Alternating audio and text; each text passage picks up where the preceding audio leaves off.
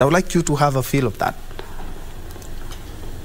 Uh, my brother, what is there is that uh, uh, when the president was doing campaigns, he had a social contract with the, the Kenyans that uh, the cost of living was to tremendously drop.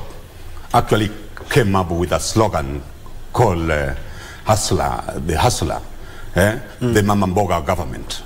And what you can know very well is that the powers of the president come from uh, the people under Article 1, sub Article 1 of the Constitution of Kenya.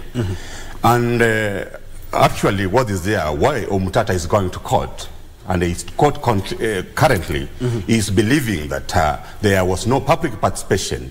Or if there was public participation, those proposals in the public participation was were not catered for in this Finance Act, which shall be enforced as from 1st of July. Mm -hmm. And uh, I humbly requesting that uh, the judges who are handling this matter mm -hmm. to just use the Solomonic wisdom mm -hmm. the way they have been using so that they can uh, uh, just uh, do what we call as uh, uh, to stop uh, this act of parliament because it's absolutely uh, draconian to the local mananchi.